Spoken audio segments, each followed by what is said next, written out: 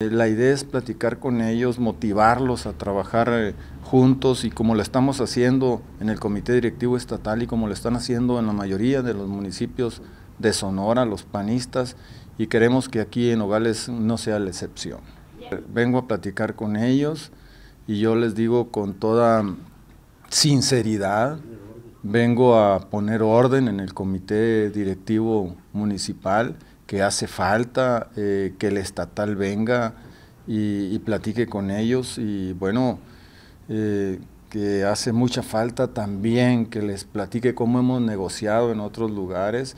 Y vengo a pedirles generosidad a los panistas eh, nogalenses, generosidad para su partido y generosidad para los ciudadanos, porque nadie nos merecemos, creo, eh, las divisiones y nadie nos merecemos eh, los problemas por cuestiones personales. Esta es una institución y tenemos que atender la institución como tal.